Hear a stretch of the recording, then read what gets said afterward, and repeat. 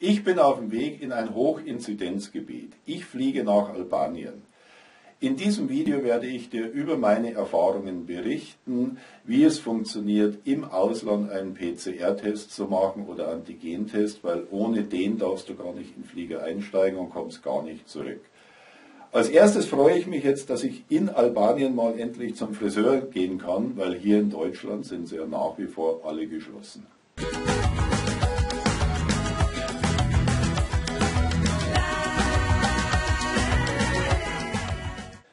Servus, ich bin Albert Siegel, der Billigflieger. Ich bin selbst mal gespannt, was mich auf dieser Reise erwartet.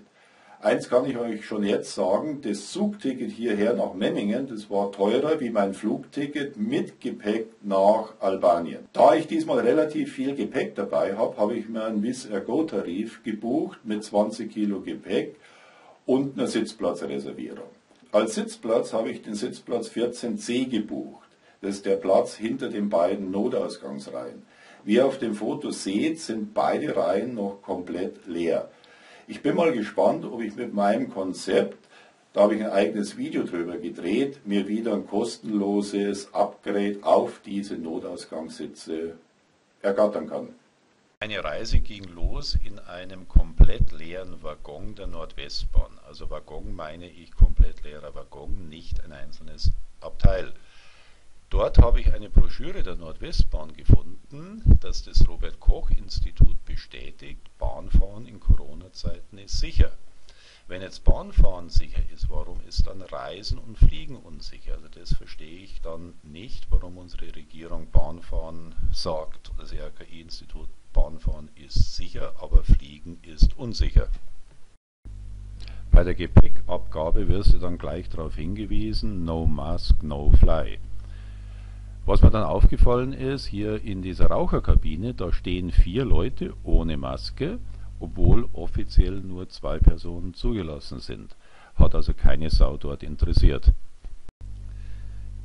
Ich bin dann wieder wie üblich als allerletzter ins Flugzeug. Das Konzept habe ich im eigenen Video oben beschrieben. Den Link findest du oben links. Auch wenn es diesmal komplett anders ausgegangen ist. Ich habe diesmal die erste Reihe bekommen als Upgrade weil die Stewardess das Boarding so schnell wie möglich abschließen wollte. Die wollte nicht, dass ich bis hinten auf Reihe 14 gehe. Was ich dann auch bei diesen Corona-Regeln nicht verstehe, jeder muss Maske tragen während des gesamten Fluges.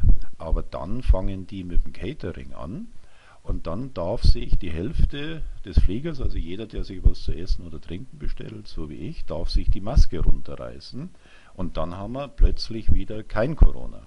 Also für mich ein bisschen unverständlich, je mehr der isst.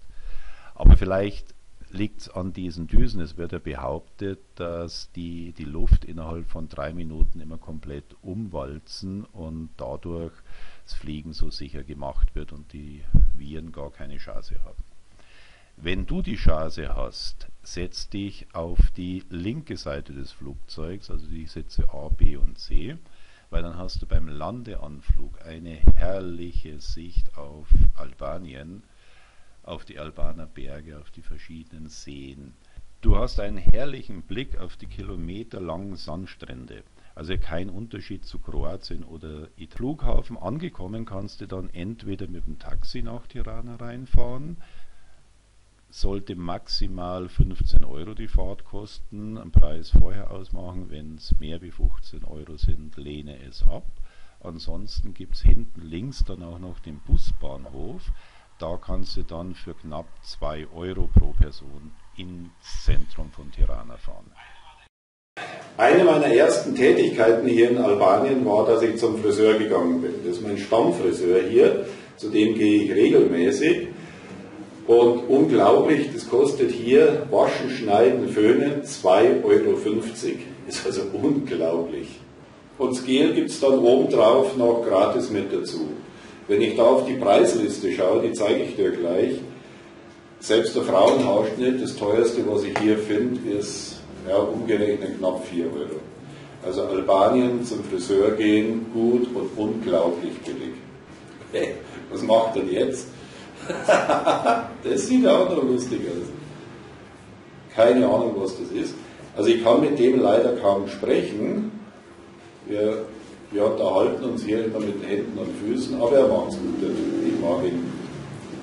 Also das teuerste hier ist tatsächlich 300 Leck, das sind umgerechnet 2,50 Euro, also unglaublich.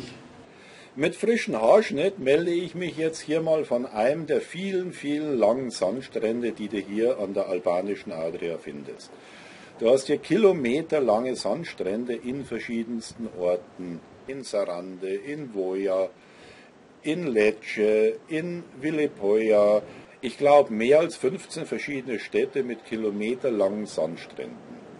Kilometerweite Sandstrände, soweit das Auge reicht. Und an so einem herrlichen Frühlingstag siehst du hier keinen Menschen. Du hast wirklich keine Möglichkeit, dich hier am Strand anzustecken, weil du findest gar keinen. Ich will da mal kurz meine Version des Hochinzidenzgebietes Albanien näher bringen. Weil für mich ist es ja erstmal ein Wert, der im Prinzip ja auf mich gar nicht zutreffen muss. Das heißt, dass mehr als 200 Menschen bezogen auf 100.000 Einwohner positiv getestet wurden. Aber du musst doch jetzt erstmal die Menschen treffen. Hier an den kilometerlangen Sandstränden, da kannst du stundenlang spazieren gehen und triffst im Moment keine Sau. Die Hotels sind leer. Restaurants, ja gut, die sind normal gefüllt, die haben offen. Aber wenn du deine Abstandsregeln einhältst, in den Supermarkt mit der FFP2-Maske gehst, was soll denn da mehr passieren, als dir in Deutschland in der S-Bahn passieren kann? Aber ich lasse mich dadurch nicht abschrecken, auch wenn es schwerer gemacht wird. Du musst halt jetzt den PCR-Test vor der Rückreise machen, auch wenn du als Geschäft, auch wenn du auf Geschäftsreise bist. Was die Einreise betrifft, hat Albanien seit Ausbruch der Corona-Krise im Übrigen noch nie einen PCR-Test oder Antigentest bei der Einreise verlangt und auch noch nie jemanden in Quarantäne geschickt. Gut, das führt dann schon alles dazu, dass es einen hohen Inzidenzwert gibt, aber dafür ist hier alles offen. Du kannst dich frei bewegen, es gibt nachts eine Ausgangssperre, aber ansonsten ist es hier extrem offen, das Land. Aus meiner Sicht kannst du hier deinen Sommerurlaub planen. Die Flüge sind günstig. Wizz Air fängt an, ab Hamburg, Karlsruhe, Baden-Baden zu fliegen, fliegt nach wie vor ab Dortmund, Berlin, Memmingen und so weiter. Also schau da einfach mal auf der Wizz-Seite nach, welche Termine da für dich passen und buch deinen Flug. Heute habe ich ein ganz besonderes Angebot für dich. Du kannst mein E-Book, der Billigflieger, kostenlos bestellen. In diesem Buch habe ich auf knapp 100 Seiten mein bestes Wissen zusammengefasst. Wann ist der beste Zeitpunkt zum Einchecken? Wann ist der beste Zeitpunkt, um ins Flugzeug einzusteigen? In Deutschland starten im Moment 24 verschiedene Fluggesellschaften von 27 verschiedenen Flughäfen. Da sind Fluggesellschaften dabei, die hast du in deinem ganzen Leben noch nie gehört. Dazu findest du eine Tabelle in meinem Buch, damit du von deinen nächstgelegenen Flughäfen sehen kannst, wer fliegt denn da. Wie gesagt, Fluggesellschaften, die hast du in deinem Leben teilweise noch gar nicht gehört und viele, viele weitere Tipps. Im Moment auch ein eigenes Kapitel zum Thema Corona und Reisen, damit auch du siehst, welche Ausnahmen es gibt. Den Link dazu findest du unten. Einfach einen Screenshot machen, dass du meinen Kanal abonniert hast, das Bild hochladen und du kriegst sofort vollkommen kostenlos mein neuestes E-Book, der Und so sieht es in fast allen Restaurants in Albanien aus. Du hast keinerlei Probleme, die Abstandsregeln einzuhalten und ein Teller Spaghetti oder Pasta mit Muscheln kostet hier umgerechnet 4 Euro, also wahnsinnig günstig.